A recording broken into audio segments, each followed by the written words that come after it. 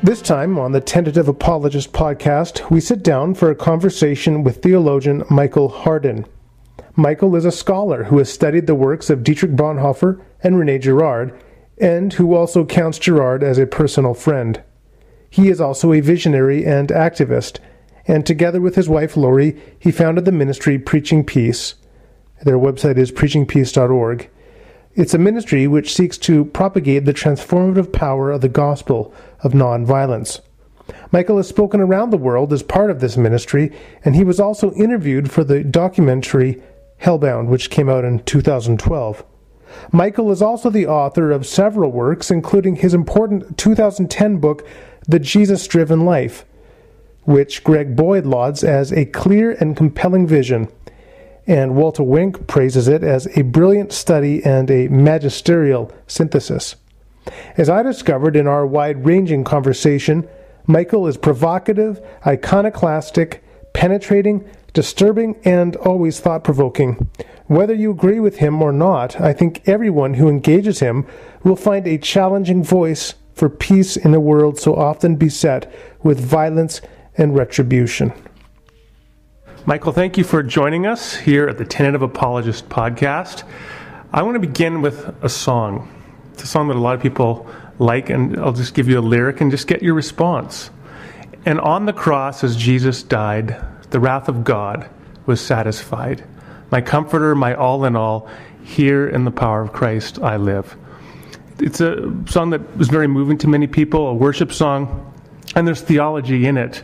And I'd just like to hear your response to the theology, if you could unpack it a bit and give your response.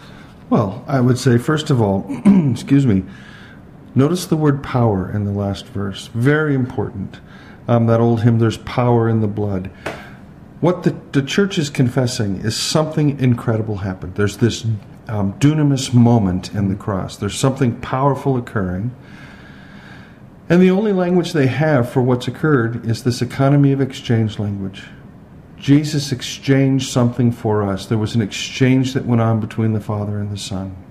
And we've known this for 500 years since Calvin, even though it was not at the heart of Calvin's system, and even though it wasn't at the heart of Beza's system, who put predestination at the head of the Calvinistic paradigm. Certainly, by the time you get to the 17th century, it has become a feature of Reformed theology, uh, some Lutheran theology, pietist thinking, and um, has been with us ever since. So I understand why they're thinking that direction. That's that's fine. The problem is that's not the biblical God. The God of Scripture is not a God of exchange. The God of Scripture freely gives, freely shares, is forgiving in God's own heart, is loving in God's own heart. Sin doesn't change God, changes us. And part of the liberation process then is that there is this power in the cross. However, it is not a penal satisfaction economy of exchange power. It's the power of the demonstration of what real love and forgiveness can do to transform human lives and bring peace out of social conflict. I, have heard uh, someone give a, a penal substitution take on the prodigal son where he says, okay, the son comes back and he apologizes, and the father says, fine, but first you must atone for your, sins. sins. Yes, I've seen that same. Uh, wish I could remember who did it. it was very clever. I think what Robin Collins, I think was Robin Collins. That's yeah. it. yeah, he's yeah. a friend of ours in uh, Pennsylvania. There lives up the road. But aren't there? I mean, is, isn't the whole framework of atonement one of transaction that there has to be blood? Without blood, there is no forgiveness for the remission of sins. There's, you've asked two different questions. Um, the first question, doesn't there have to be blood? And the second question, what does the scripture say? And you quoted the Hebrews 9:22 text. Mm-hmm. So I want to say, first of all, um, there will be blood. There must be blood. But it is does not have to be according to the interpretation you've just given using Hebrews 9:22 as the scriptural warrant. Because what's interesting is 922 says, I just did this this morning at the hmm. Mennonite Church, this very hmm. text, I exegeted it. it. says, according to the law, nothing can be forgiven without the shedding of blood. This very phrase occurs again in verse 8 of chapter 10, where the writer is using an anti sacrificial critique using Psalm 40 on the lips of the pre incarnate Christ to say that, in fact, that's the problem with the law, is that according to the law, everything has to have bloodshed. In other words, there, according to the law, there has to be an economy of exchange. 922 is not saying that God says there must be. The writer to the Hebrews is using this language to point out that there doesn't need to be on God's part, but there does on our part. We as humans are a sacrificial species. If there's anything we know from ancient mythology to um, uh, archaeological diggings regarding human bones, the recent discoveries at Göbekli Tepe and other, and other places, if there's one thing we know about humans, it's that we're a sacrificial species. And I have been using the work of Rene Girard now for a quarter century, and I'm fairly convinced that this way of seeing the human species as a sacrificial species means that in order for God to come into this matrix we've created of religion that's sacrificial in, in nature, God can come from one of two positions that of the persecuting community or that of the persecuted victim. So God comes and reveals God's very self in the life of the persecuted victim, Jesus of Nazareth. And as Mark Heim says, in the cross, Jesus is not getting into God's justice machine. God in Christ is getting in ours. But isn't the whole temple system, I see, like the, the, the way that people will often understand atonement is the atonement is the culmination of the temple system of blood sacrifice. And it seems almost like you're saying, in fact, it's the negation of it. it exact, that's exactly what I'm saying. It is the negation of it.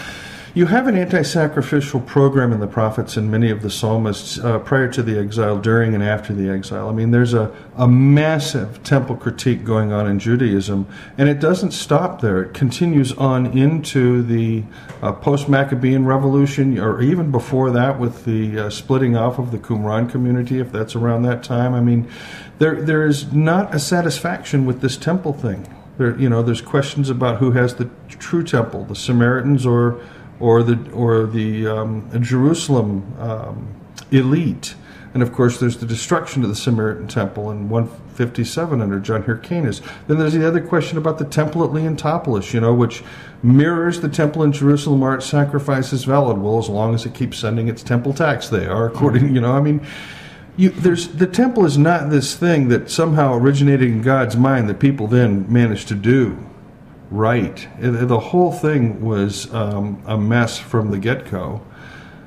My sense is this the anti temple critique in Scripture, the anti sacrificial critique in Scripture goes hand in hand with the anti marginalization critique of the prophets.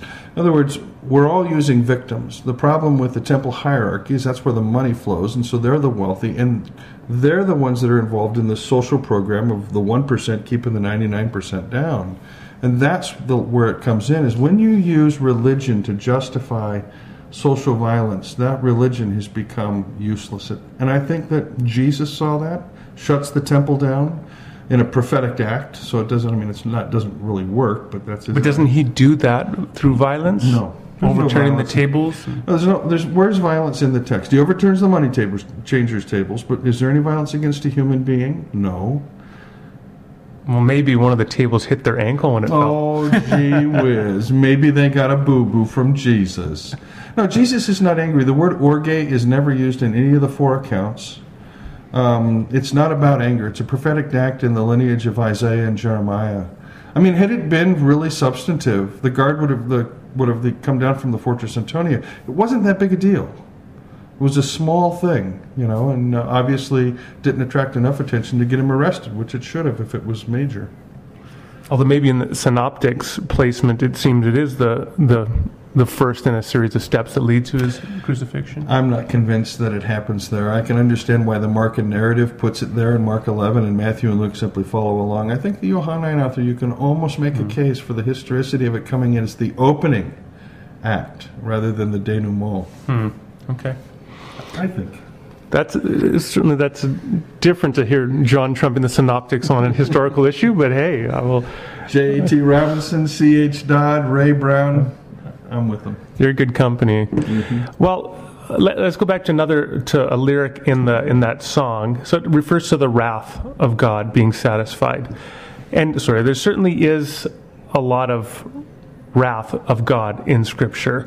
Mm-hmm. So, how do you understand the wrath of God as it is depicted in Scripture? From a Girardian perspective, using mimetic theory as an anthropological reading of Scripture. Now, let, us just pause for a second. We got. I'm going to. I, I think, in fact, there are there are a couple things we should probably do. We should you should just say a few words about penal substitution, which you've been talking about, and then go on to Girard mimetic theory and, and right. your response. Okay.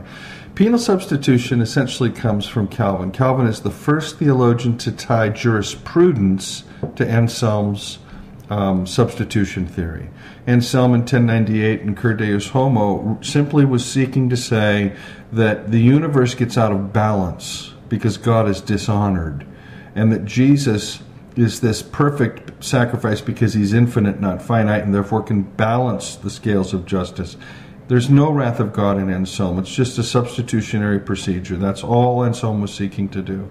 It's Calvin in his um, uh, arguments against the Anabaptists who will most vehemently begin to say that God had a dark side that had to be appeased. And Calvin is trained as a humanist lawyer before he goes on to become a, a theologian and pastor he ends up bringing Genevan jurisprudence into this model of atonement, saying that God was not only dishonored, God was angry. God had an active feeling that had to be dealt with before God could accept us. So, God, by God pouring Jesus' wrath on the cross, out wrath on, I'm sorry, by God pouring His own wrath out on the cross on Jesus, what you end up having is this: if you believe that, then that wrath won't come on you. And this is why they end up having to teach limited atonement, because if God pours out His wrath on Jesus, then it's all done. Well, no, there's still some left over at the end for those that don't believe. So, yeah, they're kind of stuck with the hmm. logic of this thing. That's the first piece. That's penal substitution as I understand it. But it's not the gospel, it never has been.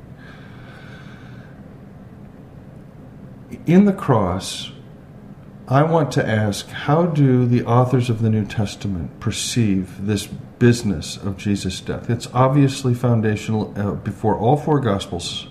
Uh, that's the most explicit narrative. If Gerd Theissen is correct, um, it's the first narrative to be put together in the early church around the year 41, uh, beginning with the garden scene and moving on to the to the burial.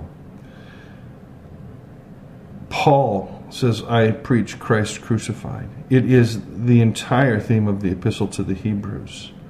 Um, the Johannine author, the author of the fourth gospel, um, his whole theory is that God's glory is revealed in God's greatest humiliation on the cross. The hour is the hour of the cross. Uh, you have everything is pointing to the cross in that book.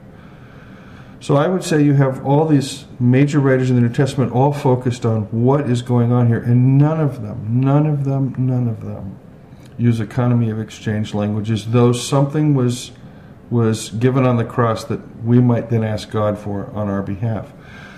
With one exception, and that's 2 Corinthians 5:21.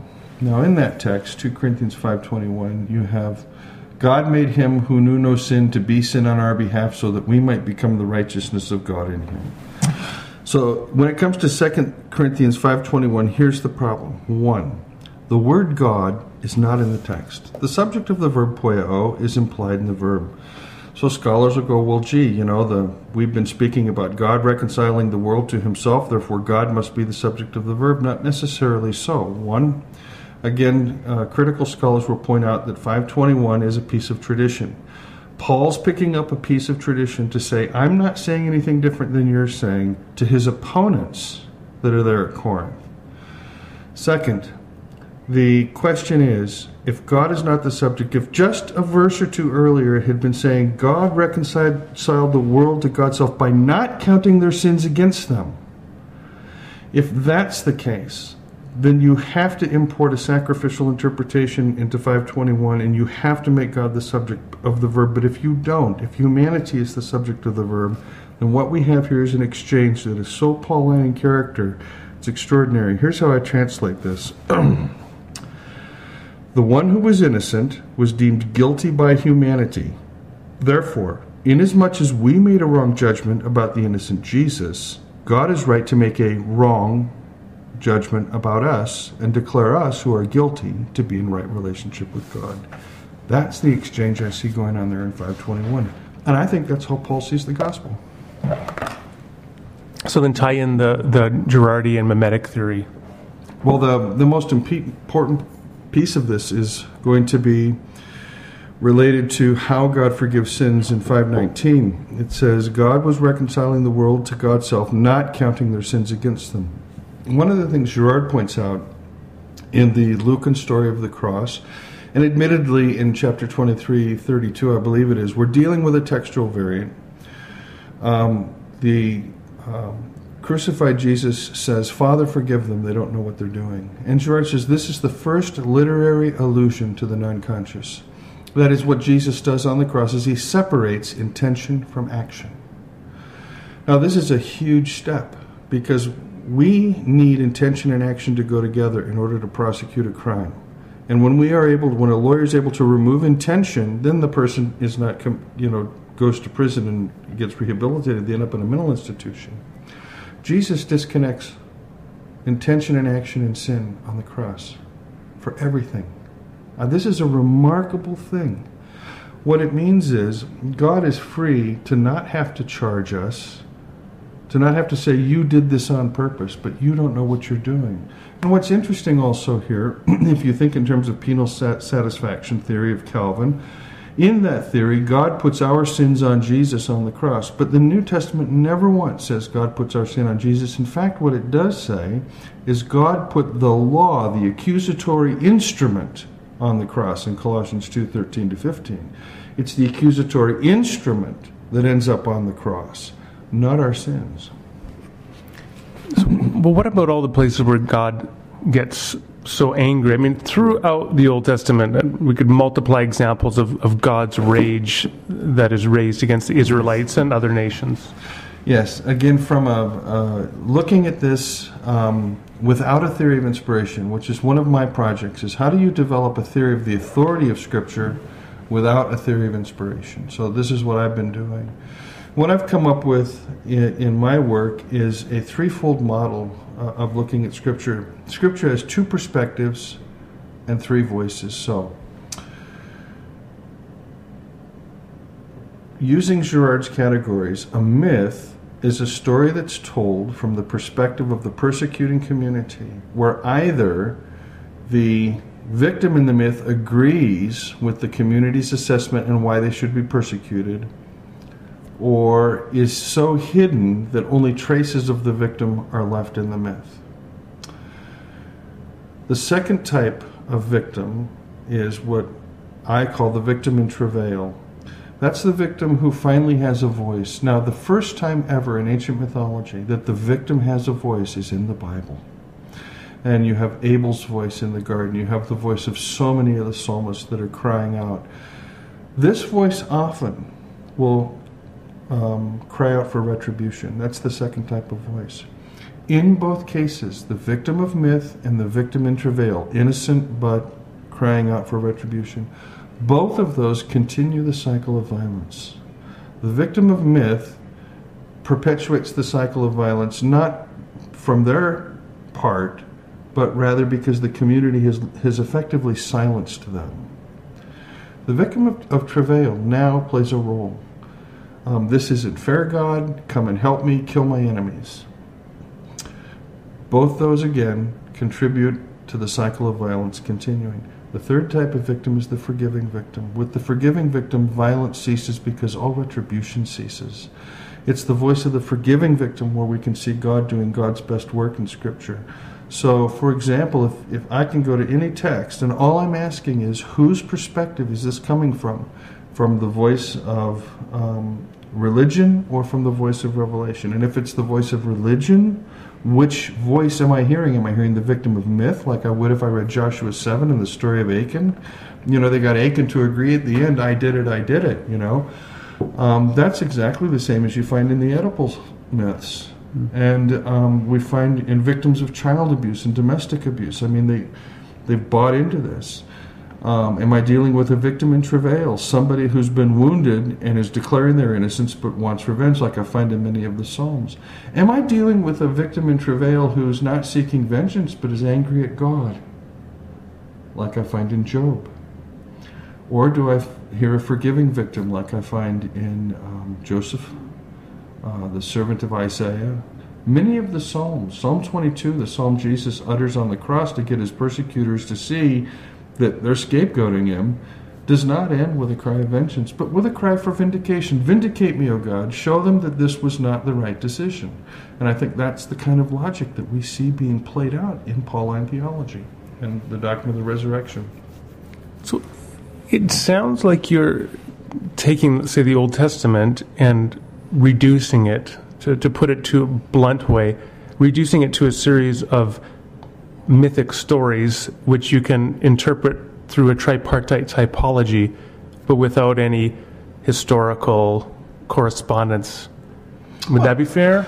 N- not necessarily. I think one of the interesting projects that Tony Bartlett embarked on is to discover that it's Jehoiachin that is actually the suffering servant figure of Isaiah 53 as a historical figure.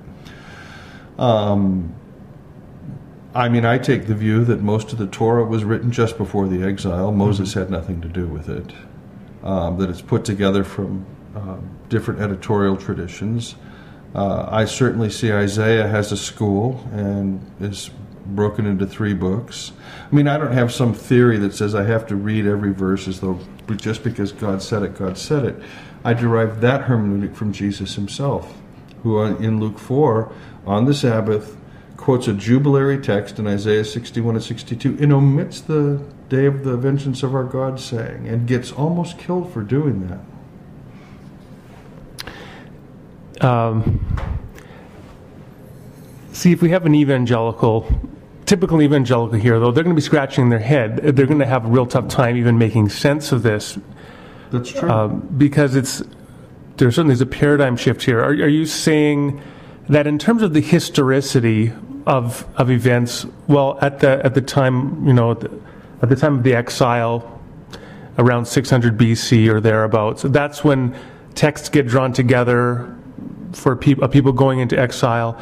But in terms of the historical identity, with whatever they say about God's wrath and so on, we don't understand that as corresponding to any past events. But we simply read that in light of Jesus and what he has brought in the gospel he's brought for how we should live with one another? Well, what I'm trying to say is there may have been a real event like an Exodus, mm-hmm. but how it gets interpreted and then entered into uh, writing is a whole other story. Uh, there may well have been um, a conquest of the land, but how that gets interpreted, it's, it's I mean, it, the interpretation is extremely nationalistic in, in, in the historical books.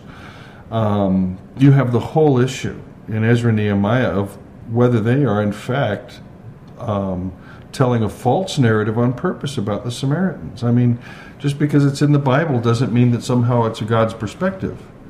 And this is what I think we need to see is that in both testaments, both Old and New Testaments, there are these two categories of religion or revelation. And, and, while there's a lot of religion in the Old Testament and some revelation breaking through all over the place, and while the New Testament is mostly revelation, we can still see religion creeping back in, uh, and particularly in the Jerusalem church, the James Peter church, who I think are the uh, uber apostles of Second Corinthians and the real troublemakers behind Galatia and Rome.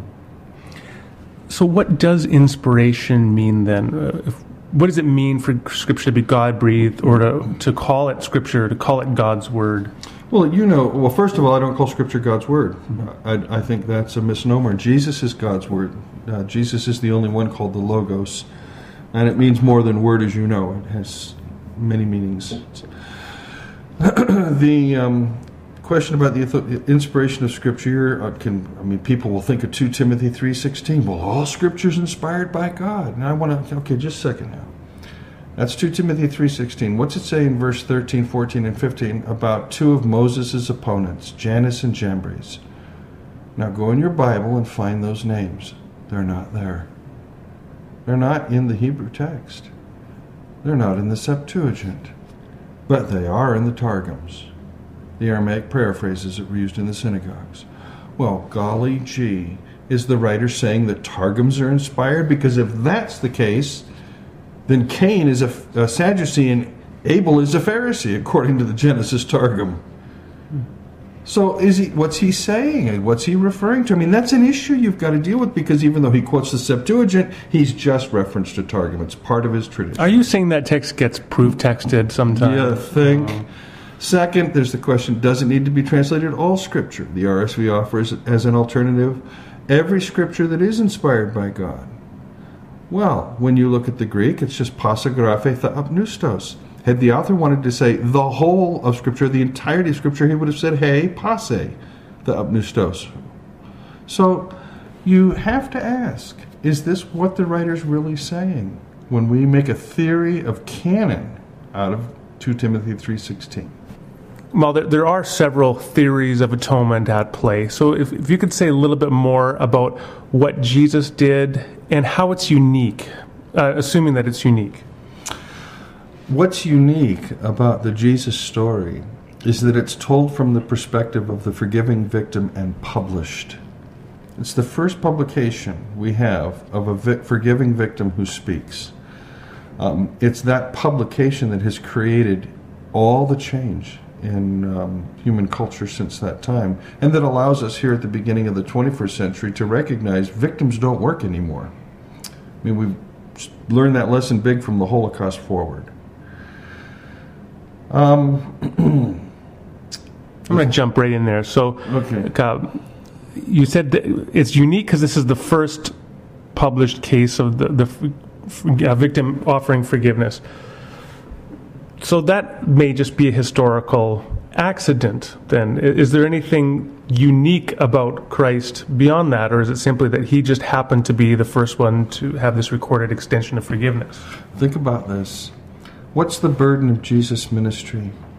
Almost everybody's going to say the reign of god the, the you know the basileia um, but is it not the case that if you look at the gospels the way the old critic form critics did Forgiveness is the one thing that appears in every type or every form of genre in the synoptics, from conflict stories to miracle stories, apothegmata, parables, teaching on prayer. I mean, forgiveness permeates the Jesus tradition. In fact, there's only one place we ask God to imitate us, and that's in the petition on forgiveness. That's the only place we ask God to imitate us. So forgiveness suffuses the, the Jesus story, the Jesus narrative. It's, that's what the cross is about. As long as we tie that forgiveness to a deal, to a transaction, what we do is we completely depersonalize it. We turn God into another alcoholic in the sky, just like all the Janus faced gods of human culture. God is no different than the other gods. And there's no good news here because it essentially says you have to believe this or you will burn in hell. I mean, that is propagandistic torture. And for me, there's nothing good about it. This is, in many ways, I mean, what you're saying is certainly radical. And, and so radical with respect to what Christians have typically said in the past. Now, this raises all sorts of questions. And I guess one question is if you're right about a lot of your reading, how did the church get it wrong for so long? The Jesus driven life, um, the first three chapters are on Jesus. The fourth chapter is on the early church in Constantine, uh, the, the Augustinian Constantinian shift. There's several major players that begin to make uh, navigational errors theologically that have taken the church off track right from the get go, but we shouldn't be surprised. Because no matter how off track the church gets, the one thing you see occurring over and over and over again in church history so many hundreds and thousands of times is the gospel breaking free. We only know the big ones like Luther at the Reformation or Wesley, you know.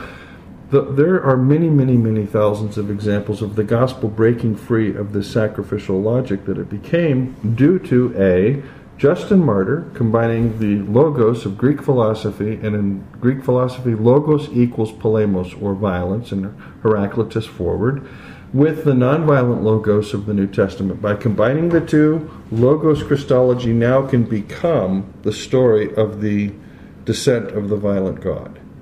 That's the first big mistake. It just absolutely screwed things. Second is Eusebius and the way he will tell the story of the early church. Eusebius is a pacifist in the first edition of the church history.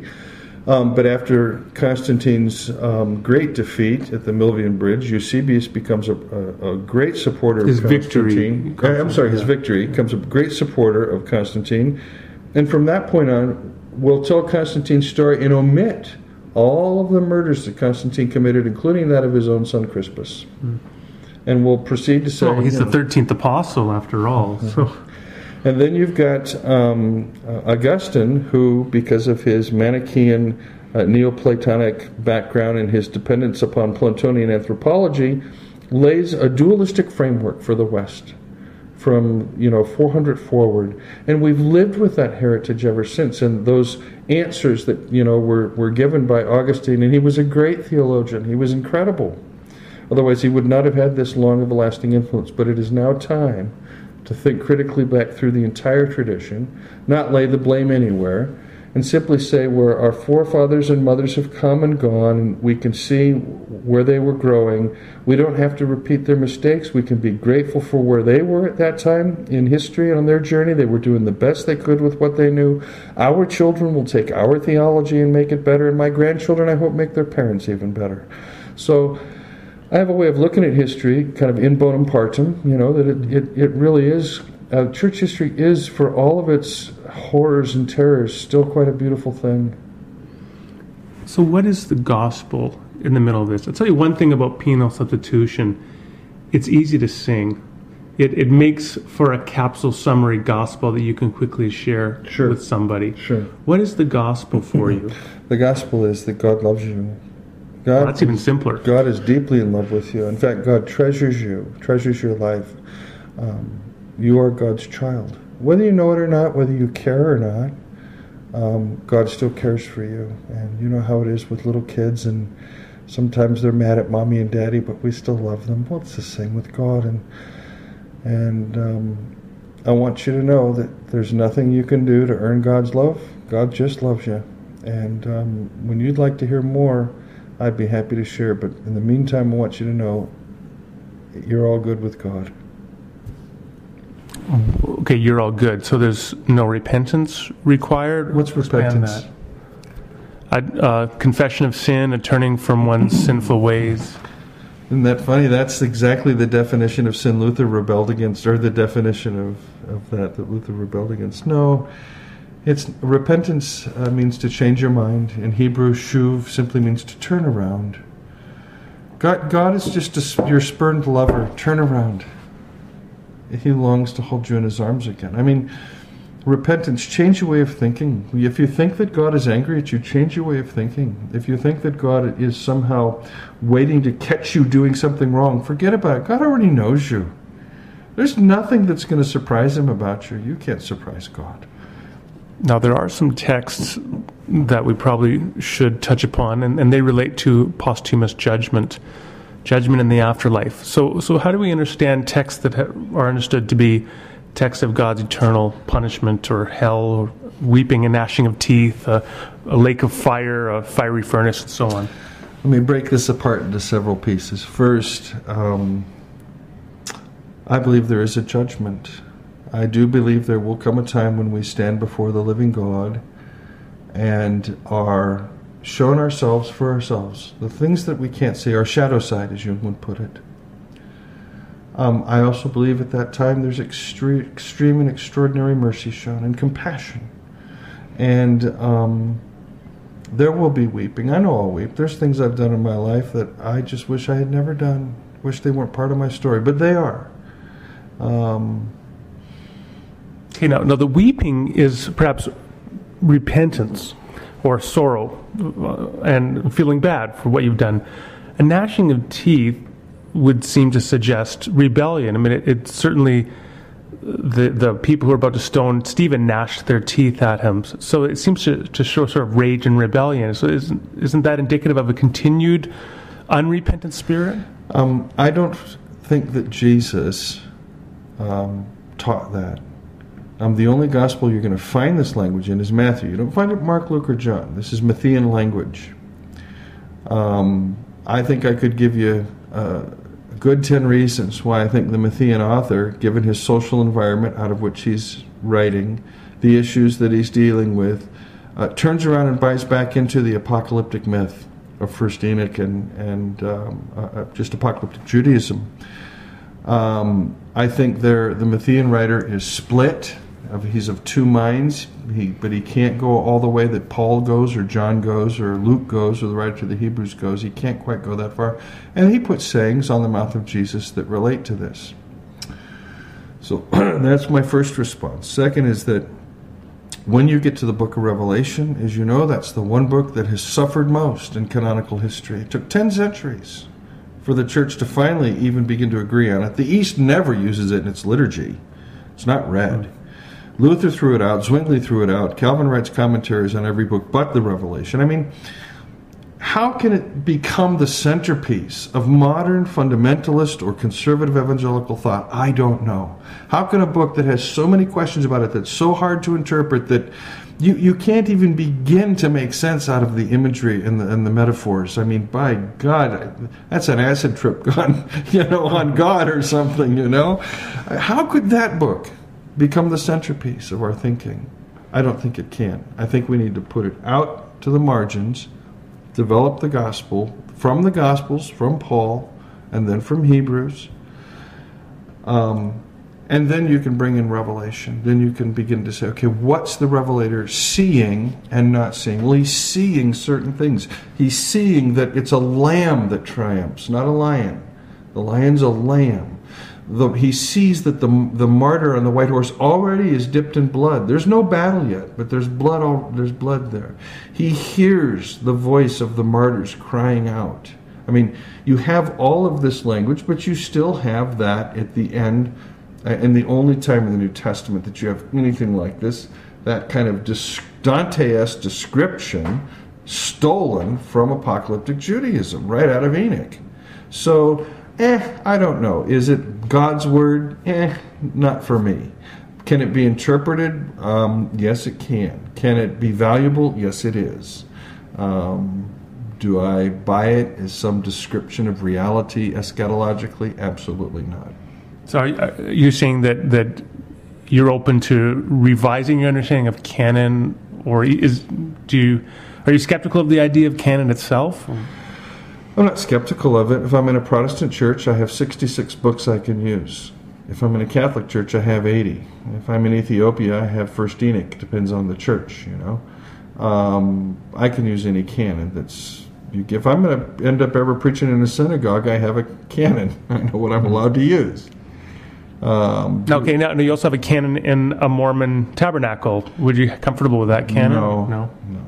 Okay, no, that's not Christian. That's hyper fundamentalist, weird sectarianism. I don't know what to call it. It just it's not Christian. I wish they'd stop claiming themselves as Christian for crying out loud. If you can't go near the Nicene Creed, don't call yourself a Christian. Mm. So the Nicene Creed is is would be an example of uh, something pivotal to identify Christians as. Me, for me, yes, yeah. absolutely. Okay. I think uh, you have to that the, the Nicene Creed that that is the Trinitarian formula was the regula fide, the rule of faith in the early church. I mean, it was that which is taught at baptism. I mean, we have Trinitarian formula at baptism, and and because this it's this Trinitarian understanding of God that Jesus changes the equation of God. That, that when you include Jesus in a doctrine of God, your doctrine of God changes, and that's why Trinity becomes so important. I think it's this rule. There is a paradigm shift that occurs when you include Jesus in your theology. So that rule of faith trumps, for me, every other claim out there that you would identify what a Christian is or isn't. I mean, I'm not talking about people that simply acknowledge it intellectually, and there are some of those, but those that have really begun to work this out in their thinking. No, I'm gonna. I want to turn to ethics in just a moment. I don't do ethics. I'm yeah. a bad man. right. You can talk about it at least. You don't have to do it. You can talk about it.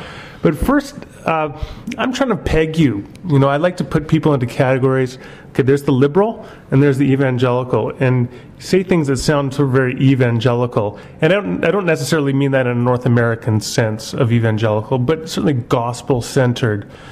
Other times you sound very liberal in, in your approach to, to scripture or inspiration or historicity or something. So, what do you feel about categories like that, and where do you put yourself? I have had so many people tell me they can't peg me, hmm. and that's because I don't think I can be pegged. Um, I drink from a lot of wells. Um, when I was in seminary, this recent um, transfer uh, to the seminary I was attending, he'd come from Dallas Theological. And after a year of conversations with him, just before we graduated, Dave came up to me and said, You know, Michael, I figured out your problem. I said, Well, okay, what is it? And he says, You're not conservative and you're not liberal, you're orthodox. Hmm. I said, well, maybe it's growing up Catholic. I don't know, you know, and uh, maybe it's my love of, of the church in spite mm. of herself. Um, I'm okay with that. Uh, in fact, some parts of my theology are very evangelical. I self identify as an evangelical. I have good news. I preach good news. I'm delighted to be a preacher of good news. I'm an evangelical.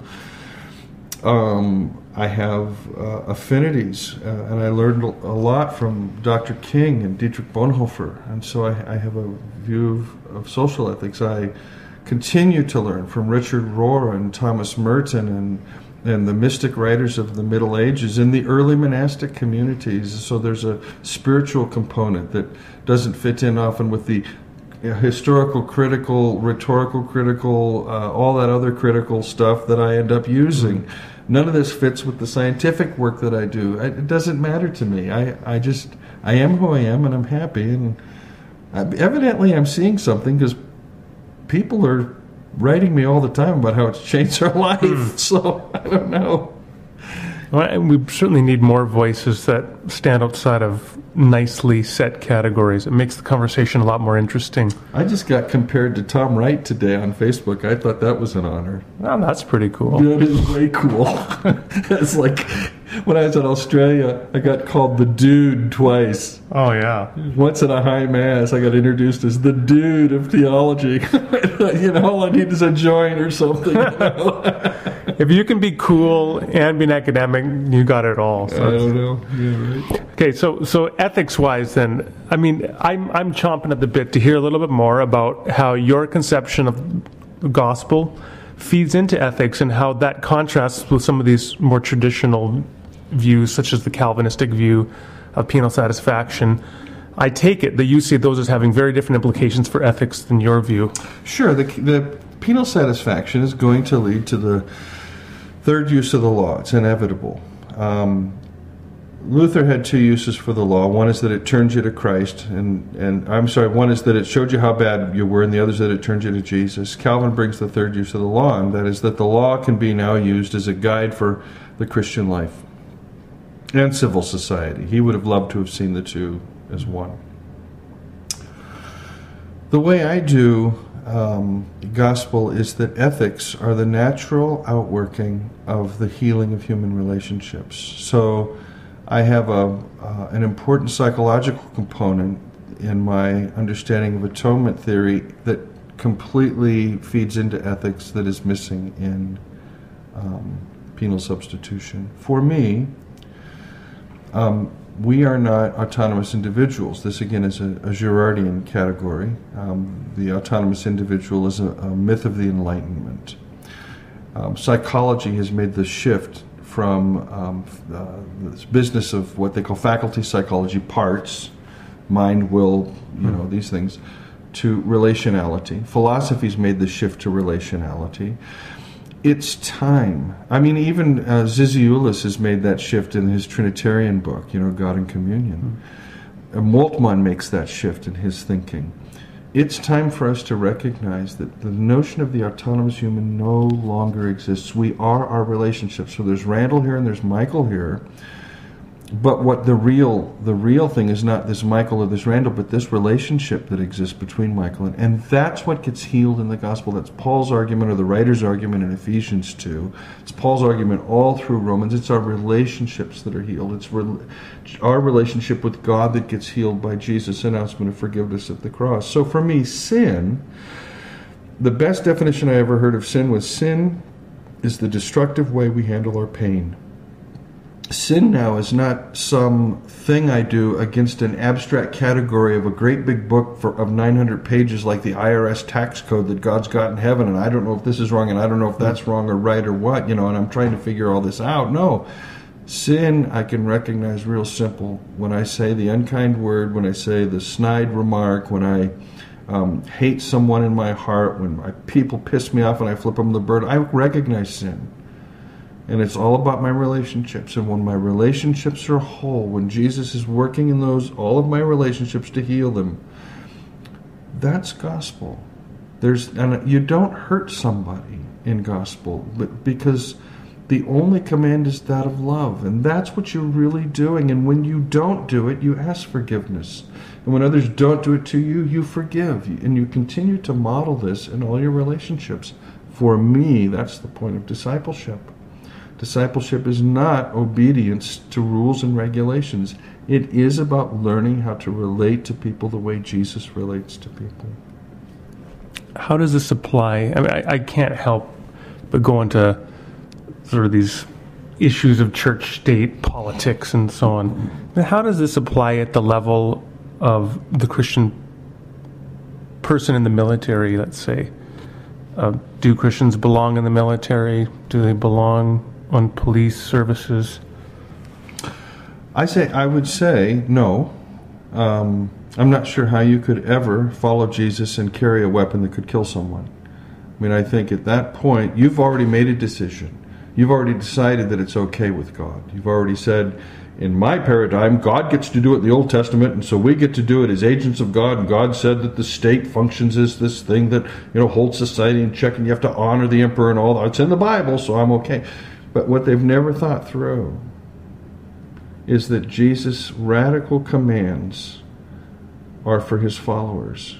And they've managed to so excuse themselves from that that they really can't see. So, but I don't blame men and women who grow up in churches entering service or police service. Um, they mean well. Um, one could argue we couldn't do without them, and it's probably the case. It's kind of that catacomb effect of Thess- Second Thessalonians. However, I think if we take Jesus seriously, we find that um, he is not about the destruction of the enemy other, that there is no enemy other, that the moment we create an enemy other, whether it's the criminal in the street or the Muslim across the planet, the moment we do that, we've stepped out of discipleship into the deceit of um, sacred violence. Tell us about your, your website and ministry. Preaching Peace, uh, it's preachingpeace.org is the website. It was created in 2002. Um, uh, I did at that time uh, an anthropological reading, a reading from a Girardian peace perspective of the Gospels and did the lectionary cycle. And then it's grown over the years. It's um, we've uh, the the website has articles, podcasts, videos. Um, I've published four books uh, in the last few years. The most recent is The Jesus Driven Life. That's the big one. In fact, mm. this is the revised second edition, just arrived hmm. today, and it goes on sale uh, next Monday, October 7th, on Amazon. Okay, we'll link to it. Yeah. Um, we've done conferences, uh, like I said, seminars. Um, we, I do a lot of teaching. Yeah, and so I, I, go around working all kinds of ways to spread the good news. And yes, it is a challenge to the standard evangelical paradigm, and that's okay.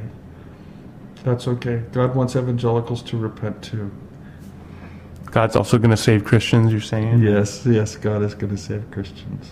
Michael, thank you very much for joining us. Well, thank you, Randal.